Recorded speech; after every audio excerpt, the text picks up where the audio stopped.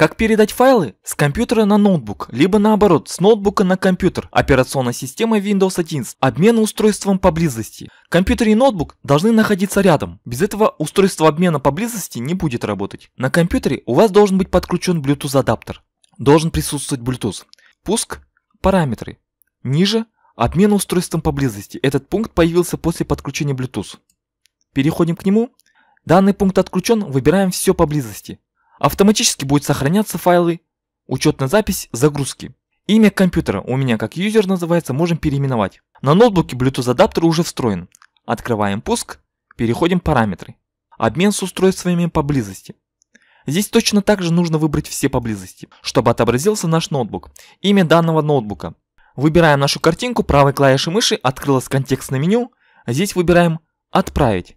Либо вы можете открыть «Показать дополнительные параметры» и здесь выбрать «Отправить». Автоматически нашел наш ноутбук, выбираем его.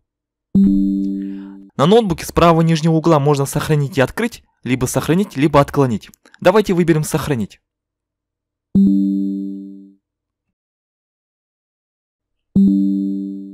Мы можем сразу же открыть его, либо открыть папку.